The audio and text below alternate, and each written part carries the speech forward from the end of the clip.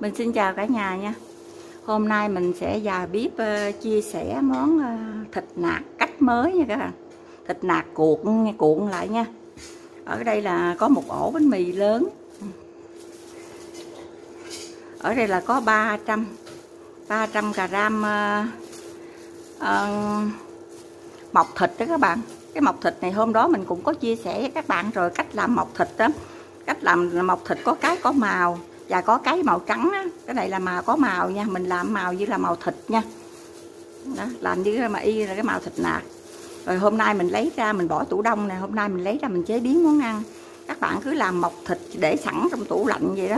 Chừng nào ăn mình lấy mình làm món ăn nó dễ hơn. Cái này là chỉ là bằng cái sườn non đó các bạn. Đây là hành phi. À, hành phi. Tỏi phi đây là có bột gạo bột năng tiêu hột và một gói uh, sốt ốp thịt vị mặn ngọt. Ở đây cũng có củ tỏi của hành sẵn rồi nên mình chỉ thêm chút là đồ phi hành tỏi phi thôi chứ mình không cho đồ sống nữa nha. Rất là dễ. Tiêu bây giờ kế tiếp thì mình sẽ ốp thịt trước nha. Bây giờ mình cho tiêu tiêu này trước khi các bạn làm mình rang sơ, rang thơ cho nó giòn, nó thơm. Tiêu. Một muỗng cà phê dung tỏi phi.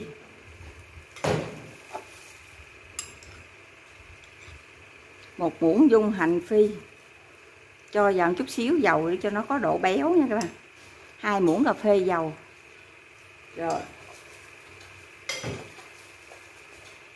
Bây giờ mình cho một chút xíu tiêu bọt nữa nha. Tiêu ờ, tiêu xay á. Ừ. Kế tiếp mình cho sốt thịt nướng vào.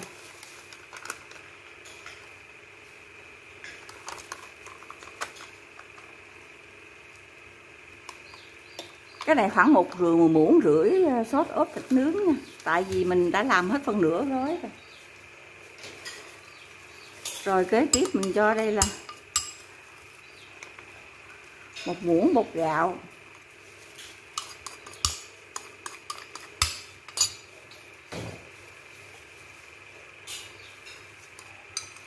Một muỗng bột năng, muỗng bột gạo dung một muỗng bột năng dung.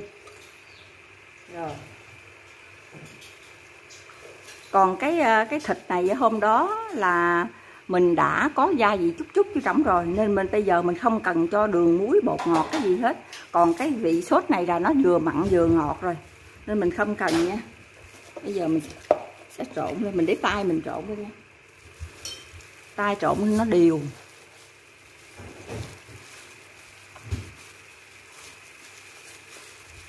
Thơm quá, thơm.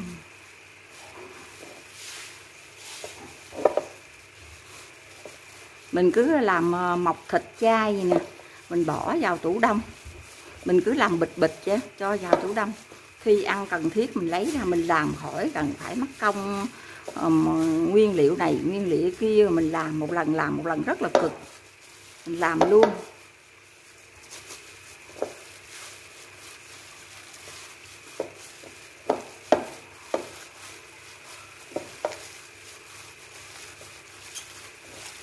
Hành phi, tỏi phi vô nó rất là thơm. Bây giờ mình đã nhồi nó hòa quyện dây hương gì, gia vị rồi ờ, của nó đã hòa quyện với nhau rồi nha. Bây giờ mình sẽ để đây. Rồi giờ kế tiếp là mình sẽ đi làm bánh mì. Bây giờ ổ bánh mì mình sẽ cắt ra các bạn.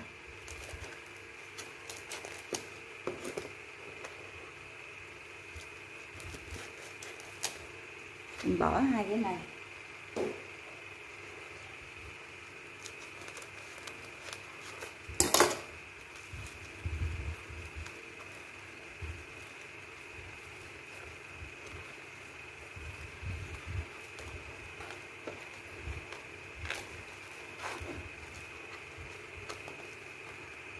Bây giờ ở đây là có um, Ờ, uh, 50 gram bột năng 50 gram bột gạo 70 gram nước nha các bạn.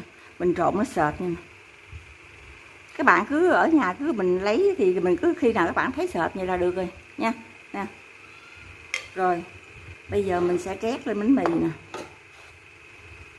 Để mình mang bao tay mình cuốn lại. Các nhà biết không mình mua cái bao tay mà y tế á, nó dễ làm hơn bao tay này bao tay này cái nào nó cũng dư cái đầu tay nó khó làm là nó dư cái đầu tay, còn kia nó ôm sát vô luôn. Mà mình mua không có. Rồi, bây giờ mình trét bột vào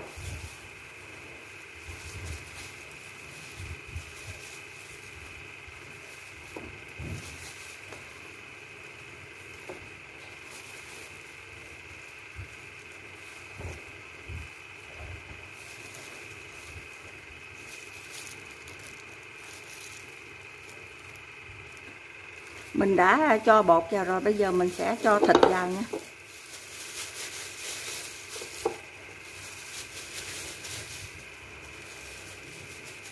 Mang bao tay thật là khó làm. Nó cứ dư mấy cái đầu bao tay.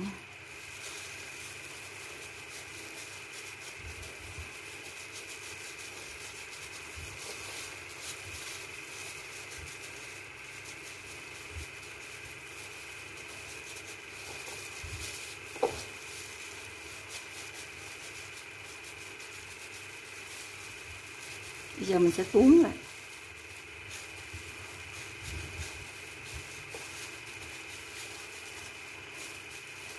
Mình bỏ mấy cái bao tay ra nha các bạn tay mình cũng rửa sạch rồi. Mình cuốn cho nó chặt lại mới được. Cuốn cho nó chặt lại nó mới cứng. Ừ, vậy đó.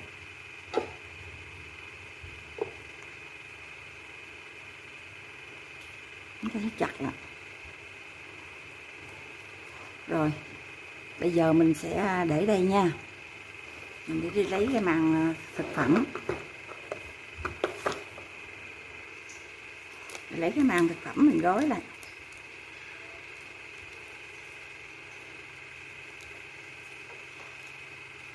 Bớt cho cứng nha.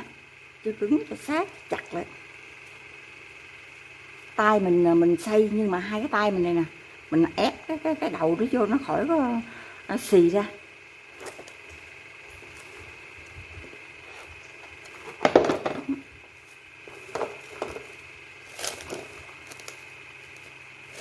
Mình làm dụng về quá.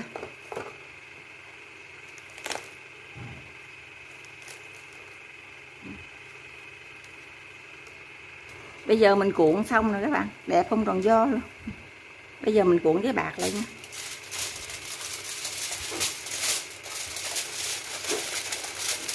Mình cắt lại.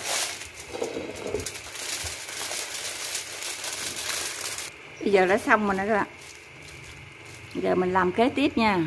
Kế tiếp đây là cái cái đầu bánh mì nè các bạn. Hồi nãy mình cắt cái lớn, cái nhỏ rồi, không đều. Kệ nó đi nha. Bây giờ mình sẽ cho bột vào.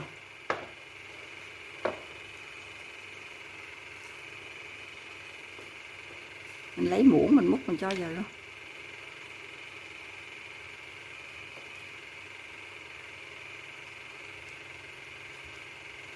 Rồi, bây giờ mình múc thịt mình cho vào.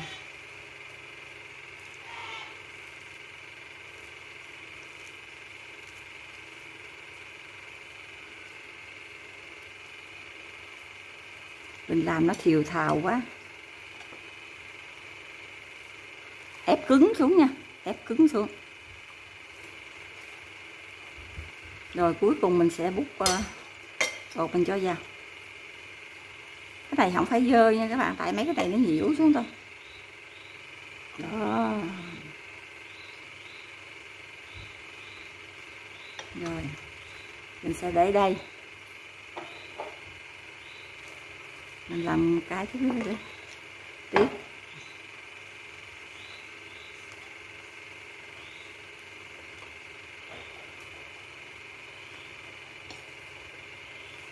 cho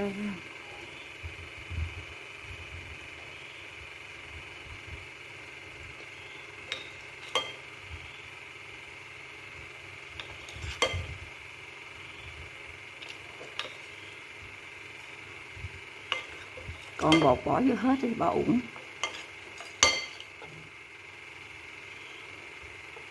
Bột này nếu các bạn thích ờ, nước dừa. Các bạn có thể là dắt nước dừa các bạn cho vô nha. Rồi. Bây giờ mình sẽ gói cái này nha các bạn. Đây, bánh mì mình để vô như vậy.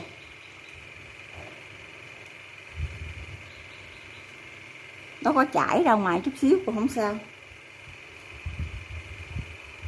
Nó dính bánh mì thì thấy cũng đẹp ừ. rồi túm mấy cái đầu này lại ừ.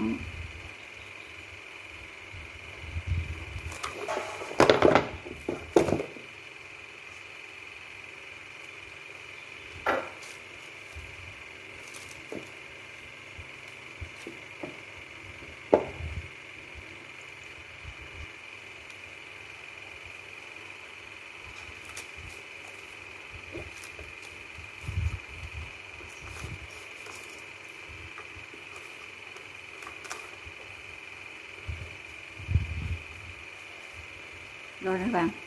Hai cái nha. Bây giờ mình hấp chung luôn.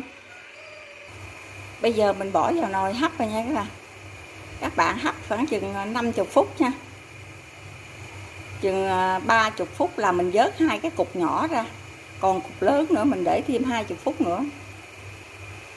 Bây giờ à, thịt chay của mình đã chín rồi nha các bạn ngày hôm qua trời mưa tối quá nên mình không có quay. Mình bỏ vào tủ uh, tủ lạnh luôn. Nên hôm nay mình mới lấy ra mình quay mình làm món ăn nha. Để mình cắt ra. Mình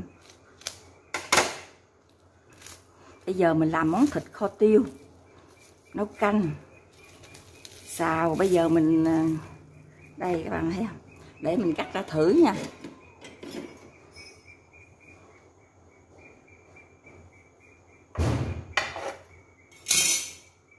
đây các bạn thấy ngon không ừ. rất là ngon luôn. Bây giờ mình sắc ra, mình sẽ chiên sơ rồi mình kho tiêu nha. Đó. bây giờ mình làm món ăn. Ở đây là có có nấm, có cải ờ, cải bẹ dúng, cà chua, đậu hũ, rau sống, xà lách, rồi gia vị thông thường, đường muối, bột ngọt, dầu ăn nha nhưng mà hôm nay mình cũng có đôi lời à, đính chánh à, trước rồi mình mới nấu món ăn sai nha các bạn. Tại vì mình vừa ra một clip là bốn món ăn chỉ có bốn chục ngàn. Nhưng mà có bạn nói trời cô tư cô tư dốc quá dốc. Nhưng mà bây giờ hôm nay mình đính chánh lại không cô tư không có nói dốc. Mình ăn chay niệm phật là mình biết làm những điều từ thiện là cái chuyện mình không bao giờ nói dốc được, chứ nó không phải đáng. Tại vì các bạn thấy ờ, ba, bốn món ăn nhiều quá và tại sao có bốn chục ngàn? Để mình nói cho cả nhà nghe nha.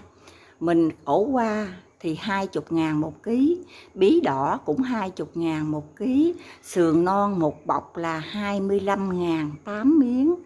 Rồi ờ, với một ờ, lạng nấm bào ngư, nấm này nè, chỉ có 5 ngàn thôi, một ký là 50 ngàn. Nhưng mà mình mua là hai trái khổ qua nửa ký là 10 ngàn.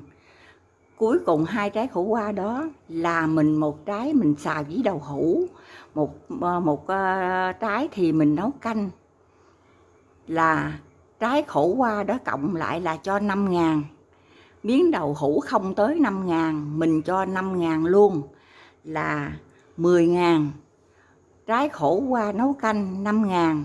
5.000 đồng nấm bào ngư là 10.000 tổng cộng lại là 20.000 ba lạng bí đỏ 6 ngàn một ký 20 ngàn ba lạng 6 ngàn tất nhiên là à, 26 ngàn rồi.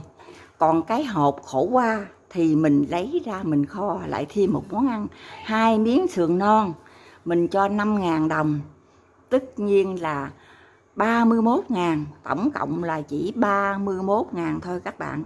Rồi gia vị, đường muối, bột ngọt, dầu ăn, mình cho 9 ngàn nữa là tất cả là 40 ngàn. Nhưng mà cả nhà cứ nghĩ đi, đường muối, bột ngọt đâu có nhiêu đâu, cái chích chích nửa muỗng cà phê, phần 3 muỗng cà phê thì đâu có bao nhiêu. Cộng luôn dầu ăn nữa là mình cho 9 ngàn. 9 ngàn đó là tổng cộng là đúng là 40 ngàn đó nha nha các bạn. Chứ không mình không bao giờ mình nói dốc đâu, mình ăn chay niệm phật, biết làm những chuyện từ thiện.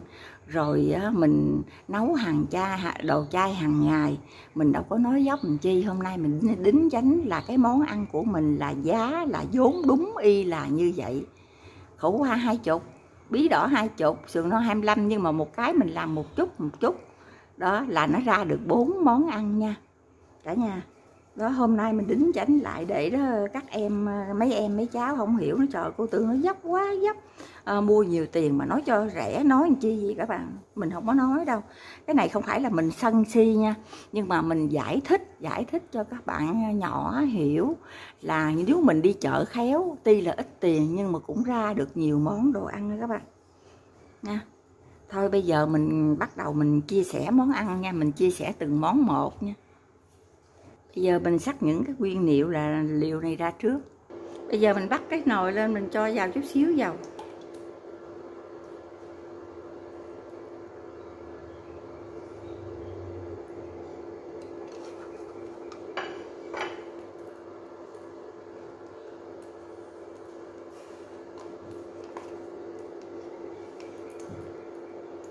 mình cho vào chút tỏi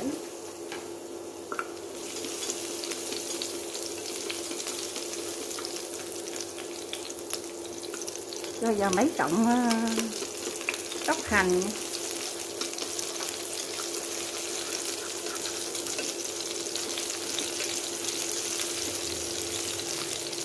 Cho nắng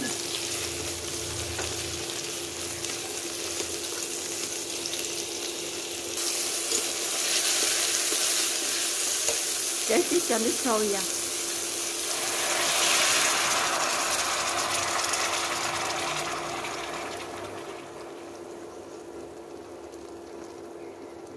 Mình nấu vậy là nấu canh rất nhanh luôn á. Chỉ cần nấu sẵn rồi nước sôi thôi.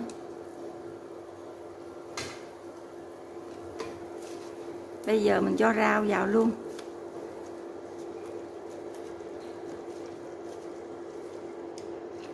Rau cải bẹ dúng mình nấu canh mình sắc nhỏ vậy mới ngon nha. Cải bẹ dúng nấu canh ngọt lắm. Giờ thời buổi giờ ăn đơn giản, rẻ tiền là tốt nhất. Rẻ tiền nhưng mà cũng rất ngon chứ không có dở.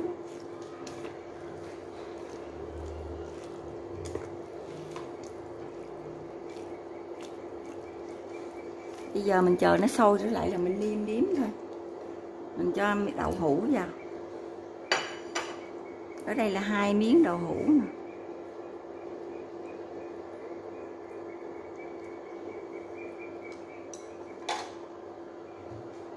Bây giờ mình niêm nha.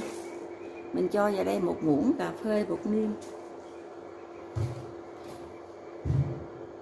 Một xí đường.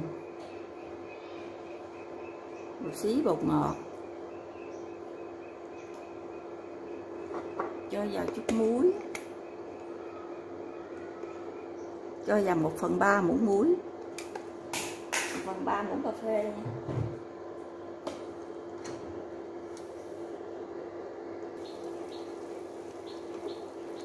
bây giờ mình cho hành lá nha.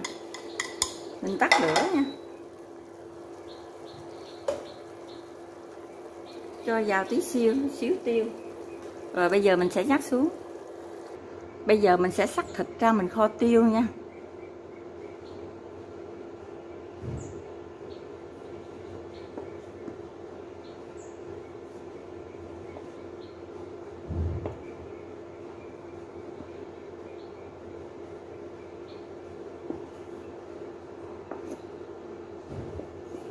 Các bạn thấy có tiêu cũng ngon ghê ha.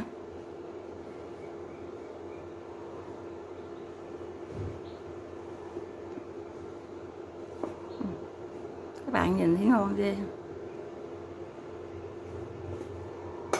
bây giờ mình sẽ bắt dầu lên mình chiên. Chiên xong rồi mình mới kho, nó mới ngon. Bây giờ mình cái bắt chảo dầu cũng nóng rồi nha các bạn. Cho thịt vào chiên.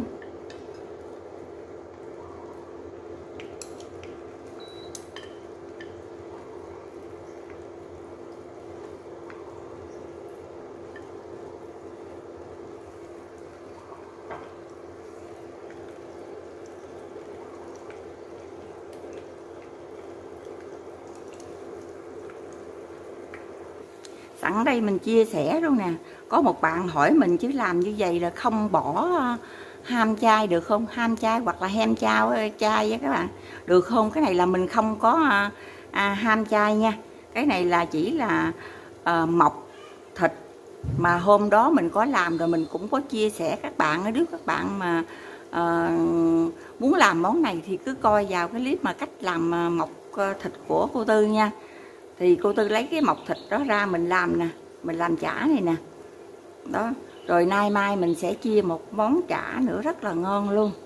Nhưng mà để cô tư sẽ chia sẻ từ từ sẵn đó cho không cần ham chay luôn. Mình làm một món chả này không cần ham chay mà vẫn ngon vẫn dai nha. Để mình à, chia sẻ từ từ nha các bạn. Bây giờ mình vớt ra được rồi nha.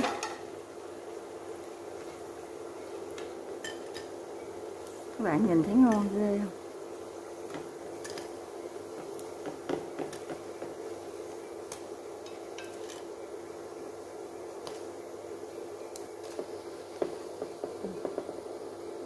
Nhìn thấy mấy hột tiêu rồi thấy hấp dẫn. Giờ mình tắt lửa.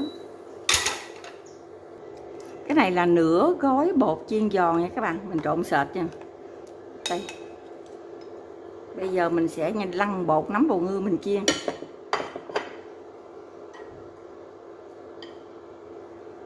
Các bạn nhúng như này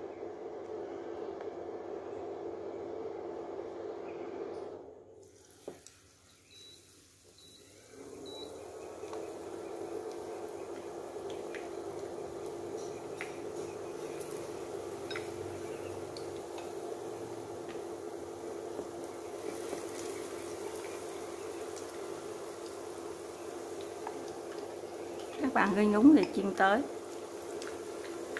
Bây giờ giờ mình chiên chín hết rồi nhé cả nó rất là ngon. Bây giờ mình đi làm nước sốt. Bây giờ mình đã đổ bớt dầu ra rồi. Chừa lại chút xíu, mình cho tỏi ra.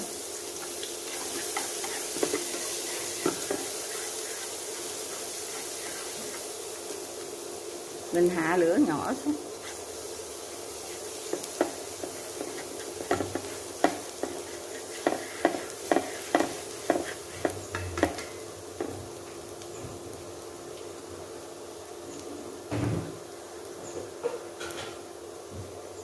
Mình cho vào chút nước.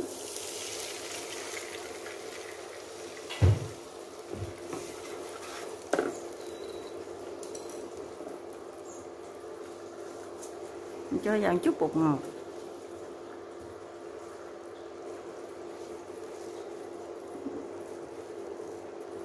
Một muỗng, bột niêm.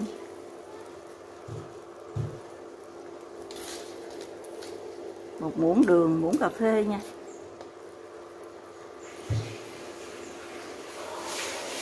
Cho vào chút dầu hào.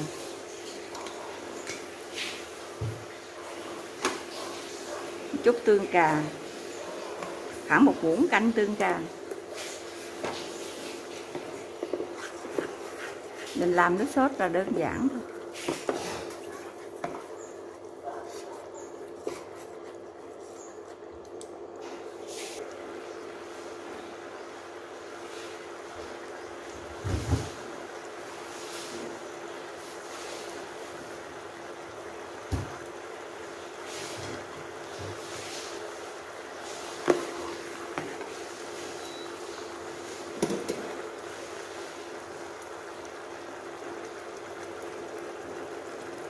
Cho vào chút ớt.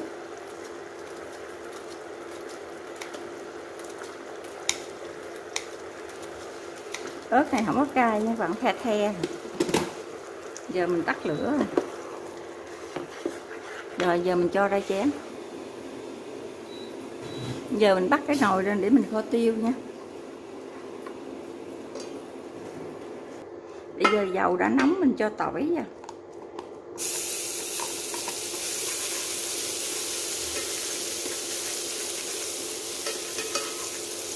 nhà hết hành à, tím rồi, hành à, củ nhỏ rồi giờ mình làm tỏi thôi.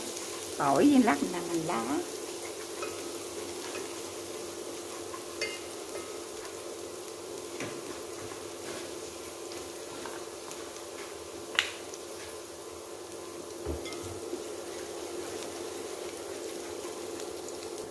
Bây giờ mình cho vào đây.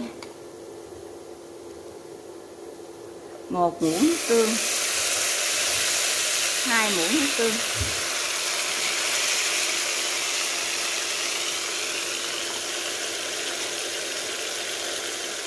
Nửa muỗng nước mắm thì nó có cái vị thơm hơn nha các bạn.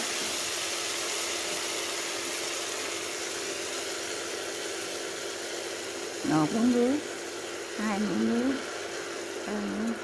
mình cho vào bốn muỗng nước lọc nhé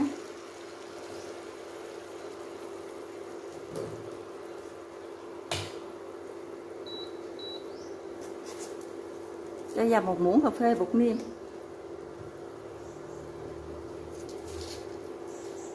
Một muỗng cà phê đường.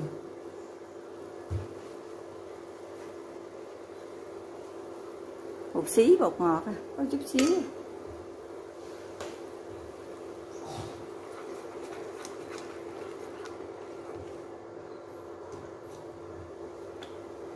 Cho vào khoảng một muỗng canh tương ớt.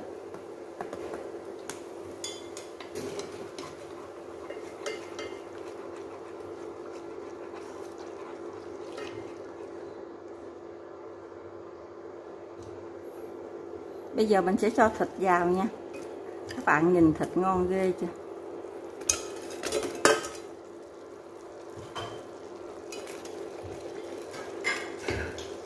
Dặn lửa từ từ các bạn. Lửa trung bình để cho từ từ thịt mình nó thấm ờ, ờ, gia vị nha. Rồi các bạn cứ điêm điếm theo khẩu vị gia đình mình nha. Kho kho này thì các bạn kho mặn mặn, ngọt ngọt mới ngon nha. Mặn quá nó sẽ không ngon. Nó mặn mặn, nó ngọt ngọt vậy đó có tiêu hơi cay cay ăn hấp dẫn. Này ăn cơm là ghiền luôn. Các bạn cái này không phải là ăn cơm không. Các bạn có thể là uh, mình uh, chiên lên rồi mình ăn ờ, bún ăn phở ăn bún um, bún ăn nước tương các bạn. Chiên là ăn bún nước tương cũng ngon nha.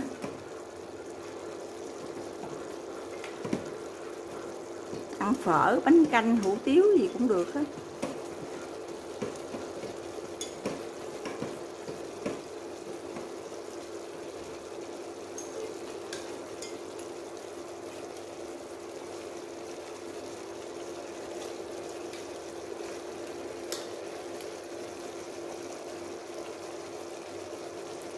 Giờ mình kho sệt sệt thì được rồi nha. Rồi, bây giờ mình cho hành lá và mình cho ớt vào luôn. Ngon quá, giờ tắt lửa.